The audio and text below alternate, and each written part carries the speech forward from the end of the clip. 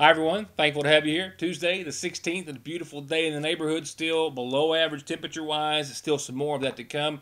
And still talking about uh, that upper level low and everything else that's kind of combining to give us, or someone else, a lot of moisture off to our east that's kind of just spinning around there, not getting enough juice to get into the viewing area, but that's going to change. We do have some shower chances and warmer air and a pretty normal weekend in regards to temperatures, sunshine, and a lot of other things to talk about.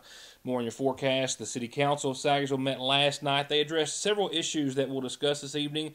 An ordinance pertaining to rental properties and there being unhealthy uh, environments for a variety of reasons. Also, yard sales, an ordinance on those uh, discussed and approved, and at least drafting an ordinance of that effect. And a lot of other news, a couple of road related things to talk about tonight, and of course, some other news and information. The University of Kentucky did announce today, which we've already seen other colleges announce similar plans, and I think that's going to be kind of a norm for a lot of folks to adopt.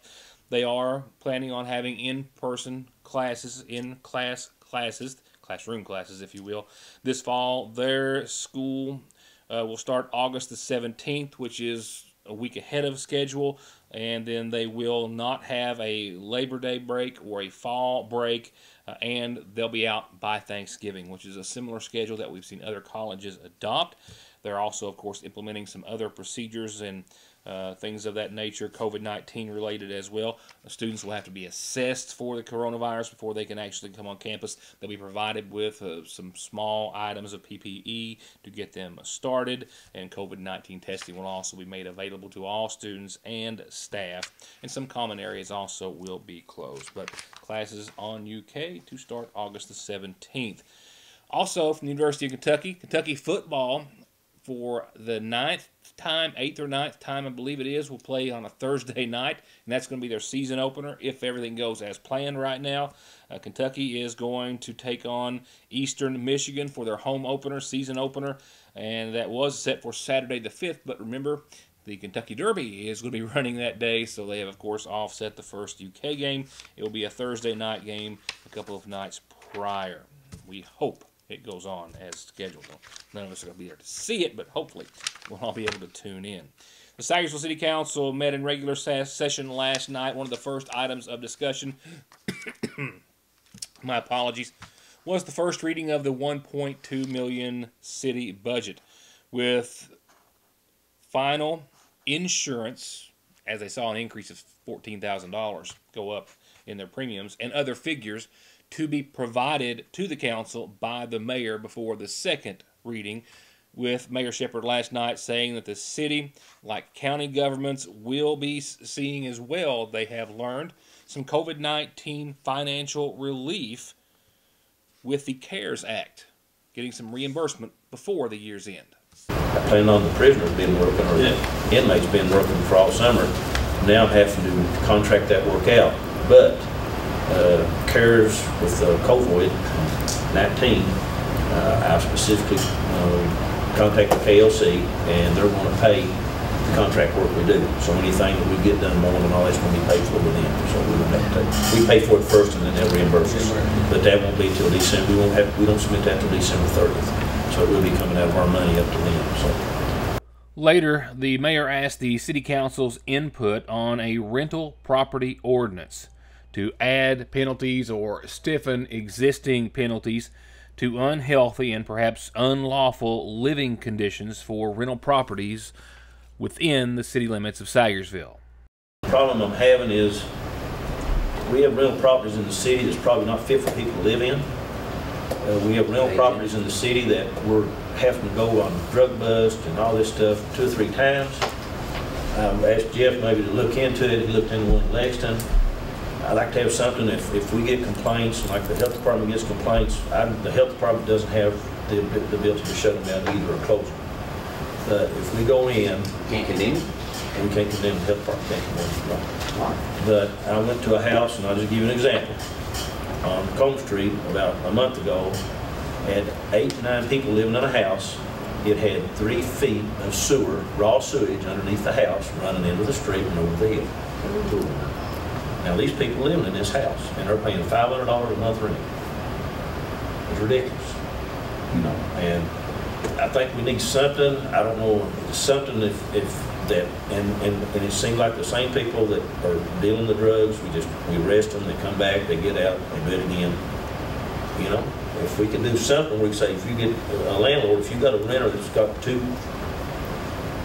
convictions on drug dealing, if you don't put them out, we're gonna shut you, you know, shut favor down or building down. I think that's, you know, I get, I get part of hearing, you know, you can't, you're not done nothing, well, we do stuff, but the courts are not set up, the jail can't take them, you know, they're too, they're overcrowded, they're putting them back out, they're going right back, they know we can't do nothing to them, but doing the same thing, same thing, same thing. So I don't know if there's, a is that a legal way to, can we do that, Jeff? Well, I mean, uh, I- essentially that ordinance from Yeah. Lexington, Lexington has basically that in their code enforcement uh, section, uh, that does exactly what you're saying. Yeah. Uh, So, I mean, I- You know, I don't want to zone. they have code enforcement, they enforce their codes. Yeah. We're not asking to do a code enforcement, I guess we would just do it as an ordinance. But I don't, I don't see why we couldn't. But I think, I think, I think it needs to be done. It's a health and safety- I'm tired of health and going out and safety seeing people living in filth, and these landlords just say, well, you know, After that and some more discussion, the council asked City Attorney Jeff Lovely to draft an ordinance to that effect. Later, David Gardner with the Salyersville Waterworks spoke of a proposed I&I project, an inflow and infiltration project, in regards to replacing the old clay sewer lines on Broadway Street, while he requested the city be the grant applicant in hopes of obtaining a $1 million grant to cover half of that cost and then possibly obtaining some other funds at a later date to cover the majority of the other half. And while before the council, Gardner also suggested an ordinance, an ordinance requesting that anyone who has the sewer system available to them be required to connect or hook up to that sewer system, with the caveat or two that they grandfather in any current acceptable septic systems and then disallow any new septic systems to be constructed in areas where the sewer was available. All voted in favor of that ordinance. And one of the last topics of discussion was from the mayor discussing yard sales, allowing them, of course, in lawns of private homes, but banning them in one particular portion of the city and then allowing them to be organized in another. what I was recommending, and I'm wanting to fix something where on um, the first, second, third of the month, anybody out of the city that wants to have a yard sale can have it at the city park. That's the only place. I'm not putting it every place in the country. And I want to ban yard sales from Restaurant Road. I don't think we should have them up here. This is, people come through here, trafficking through here, the traffic's too congested, and it's, it just looks bad. You know, and I'm all for yard sales, I people to have a yard sale, but it's dangerous. Small children. Yeah, we had a lot of calls last year, so, you know, I, I just want to get your all's opinion on it before I get. Mayor, you talking about Ramey?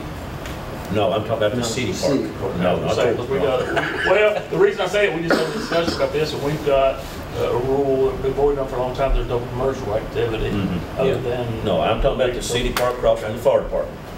And after some input from the city council on the subject, all were in favor of having the city attorney draft an initial ordinance to that effect.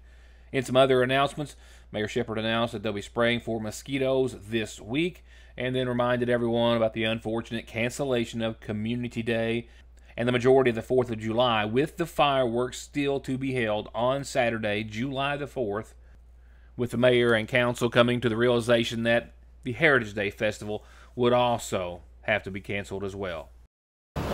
Heritage Days.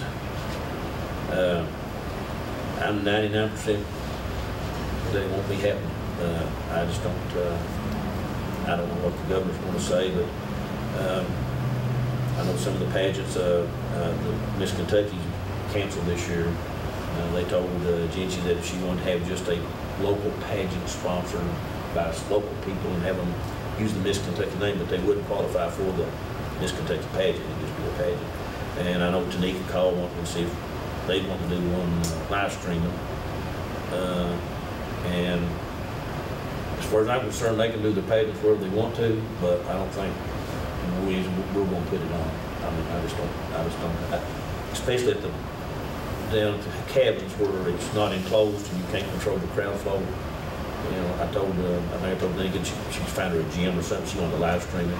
She could let who she wanted in. You know, the parents. It's going to be hard to keep parents, grandparents, everybody wants to come in. Right. So, so I just uh, if if it's canceled, it's just canceled, and they can they can go out on their own and do whatever they need to do.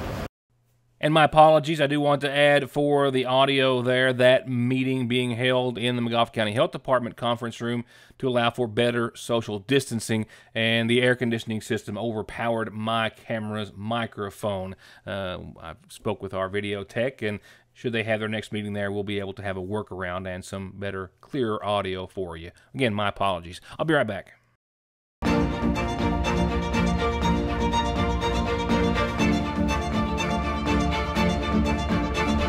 I'm Dr. Jason Zimmerman at Highlands ARH, the healthcare system of Appalachia. Come to Parkway Pharmacy in Salyersville and get your prescriptions filled, your over the counter medications, and immune system boosters, all from the safety and comfort of your own vehicle, either in their drive through or with their new curbside service. You can also call ahead or just download the MyGNP app, that's Good Neighbor Pharmacy, and refill and manage your prescriptions right from your device, helping you and yours stay healthy and safe. Parkway Pharmacy in Salyersville, 349 4400.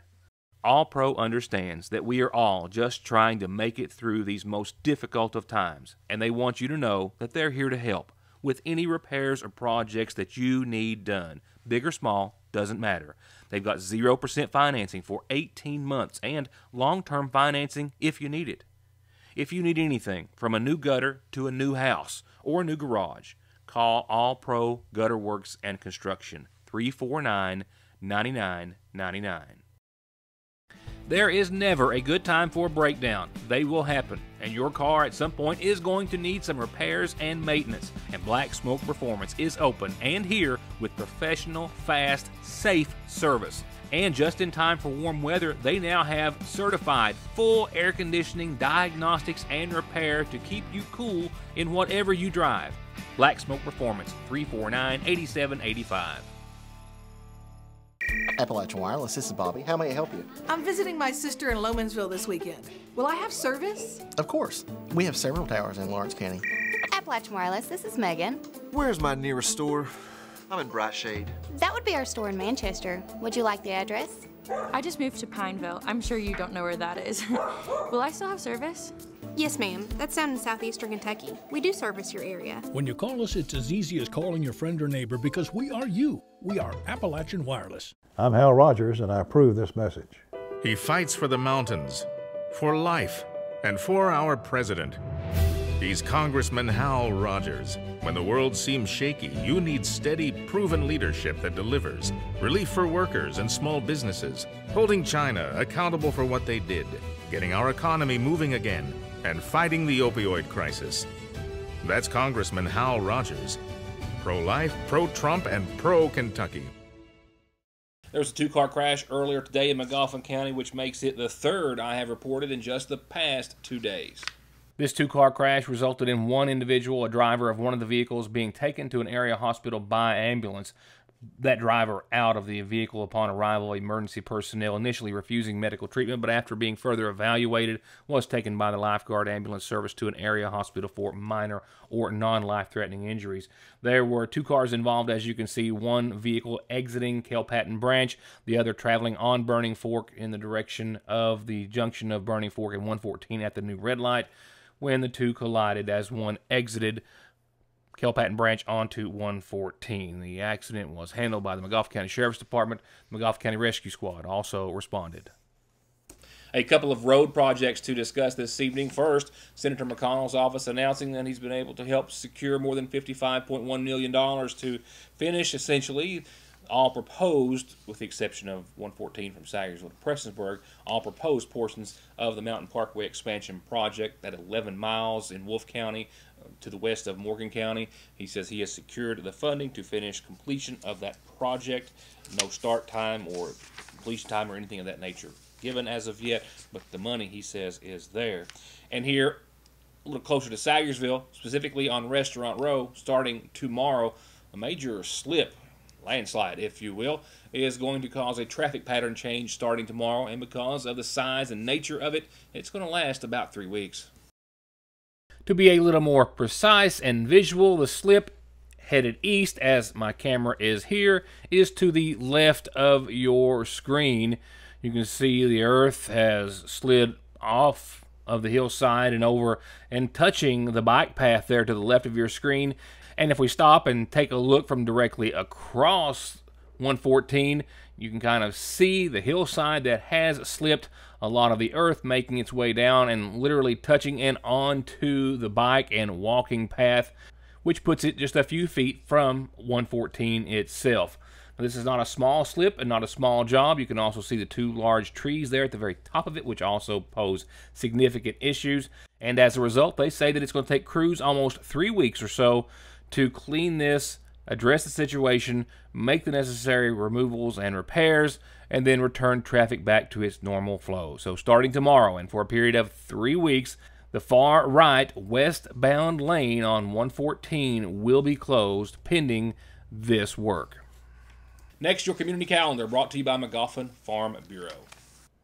And it starts with this just in from the Lakefront Church of God, the Water into Wine Food Pantry at the Lakefront Church of God. Their Senior Commodity Day is this Thursday, 12:30 till 2 for those on the Senior Commodity regular list. Waiting list clients can be served from 2 till 3. That's at the Water into Wine Food Pantry. Senior Commodity Day this Thursday. And also, from, as I told you last night, Marlene Howard at the Magoffin County Senior Citizen Center.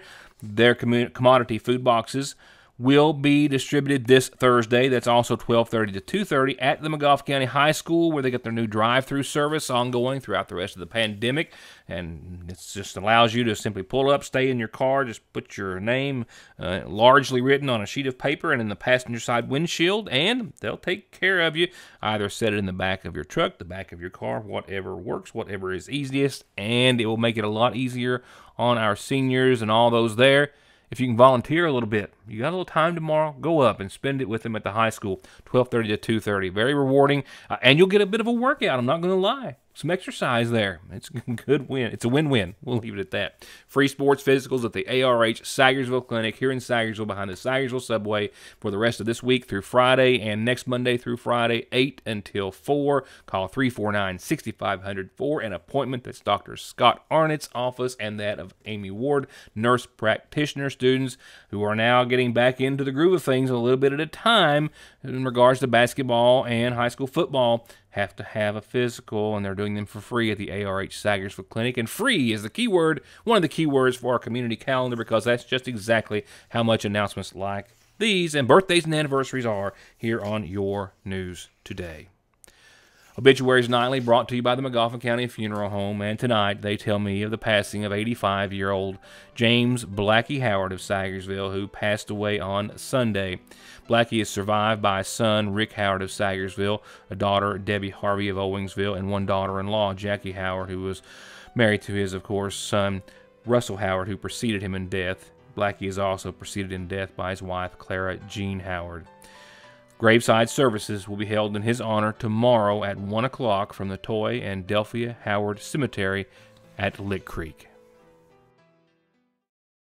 The seasonal shop is open and they're still doing curbside pickup, so you can call and place orders and they'll still bring them out to you. And inside, you'll find all new merchandise throughout the entire store all new spring and summer women's clothing from Charlie Paige and Mud Pie, accessories, jewelry, shoes, and bags too, casual outfits for everyday or special occasion outfits and dresses. And if you've been home a lot and really want to freshen up your decor, they have so much to choose from, and they're happy to give you any fresh ideas that you might need. And just in, a large selection of Simply Southern and Candleberry at Fraser's Prater Drugs seasonal shop in downtown Salyersville.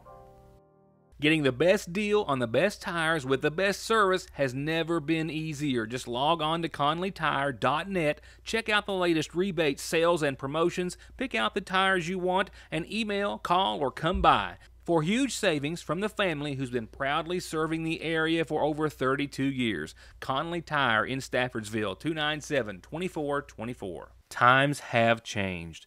Now and suddenly, more than ever. Our lobbies might be closed, but the Salyersville National Bank wants to remind our customers that we're still here. We're still working to provide our community with as many services as possible. During this time, especially, we encourage all of our customers to take advantage of all the options we offer to manage your accounts from the convenience of your home.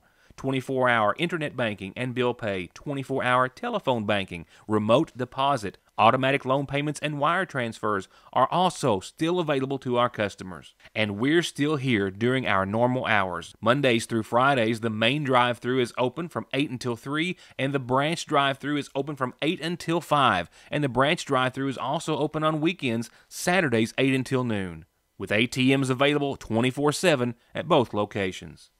Car accidents don't stop. Accidents at work don't stop. Disability and SSI cases don't stop. Your legal needs and concerns don't stop for the coronavirus, and neither does McFarland and Tinker. They are open, able to schedule appointments per CDC guidelines, and always available for telephone and video conferences. Please be safe, be smart, stay home, and don't let your legal needs fall victim to the pandemic call McFarland and Tinker and let them take care of them for you. Lastly, a couple of things COVID related, and then your Licking Valley RECC outlook. No press release today, but the governor's office did provide us with numbers saying that there was 203 new cases of the coronavirus in Kentucky today, bringing us close to the 13,000 case mark. Also, seven new deaths reported today, bringing us to 512 Kentucky lives lost. Of those seven deaths, one was a 72 year old man from Allen County, 77, 80 year old, a 74, an 89 year old, also a 43 year old man, and a 68 year old woman from Boone County. That's the second time in just the past few days that we have discussed a Kentuckian in their 40s dying as a result of COVID 19. Uh, here in Salyersville, Public Health Director and Mayor Pete Shepard confirmed today a total of 733 Magoffin Countyans tested, 719 negative cases, 10 pending, and still those four cases as we've had for the past several days. Miami is not going to go into the next phase of reopening because of concerns about COVID 19. Although the majority of Florida is in phase two, Miami says they're putting the brakes on. Florida, one of 22 states in which new positive coronavirus coronavirus cases have increased over the past 14 days. When the state came out of its stay at home order on May the 4th, they were seeing about 680 cases a day. Yesterday, they saw 2,581. Well, as I referred to at the top of the program, we've got an upper level low. We've got some heat that's to our east. We've got heat to our west.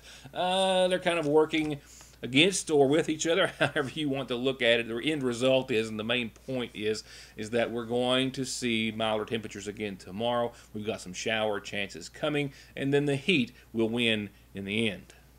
So, as a result of that, looking through your Licking Valley outlook, a 54 degree low tonight, continued mostly cloudy skies and dry conditions with a light northeasterly wind, maybe anywhere between 0 to 6 miles per hour. And another day in the 70s, actually a couple of days in the 70s staring at us, mid 70s for your Wednesday. We will see cloudy skies tomorrow and a daytime high of around 76 isolated showers before 10, uh, and then maybe a little better chance, I guess I should say, up until about 3 or so, to the tune of 10 to 20%. That's about it. Not a big chance, not a big window either. But cloudy skies. That mass of moisture just kind of sitting over there to our east, just kind of swirling around, just trying to get to the viewing area, and not. But by Thursday, better chances. We actually have partly sunny skies around 78 Thursday and a 50% chance of showers and thunderstorms mainly after 1. Shower chances will increase to maybe 60% or so uh, as the rest of Thursday evening goes on with a low of 60 degrees. Maybe some thunderstorms, otherwise a tenth of an inch for anyone that gets in on any rain. Friday, mostly sunny, and then we get back to the 80s. 82, a 40% chance of showers and storms, mainly after noon or 1 o'clock or so. Friday, mostly sunny again, and then mostly clear Friday night with about a 20 dwindling percent chance of showers and thunderstorms before 10 o'clock or so. And for your weekend, Clear, sunny, and warmer. 87 and sunny for your Saturday. Lows will bottom out at around 65 under partly cloudy skies Saturday night. Sunday, ditto for the temperature at least, and mostly sunny conditions, but a 30% chance of showers and thunderstorms starting after 11 or noon. That increases to about a 40% by Sunday evening, and that night we'll see a low of 67 degrees. Starting off next week, partly sunny, 85, a 50% chance of showers and storms Monday. Tuesday, still close to the mid 80s, it's partly sunny and still a 50% chance of some more showers and storms. It's going to wrap it up for tonight. Montgomery County Fiscal Court met this evening. I have a camera there, a report to follow tomorrow, and other local news that you'll only see here. Good night, and thanks for being a part of the show.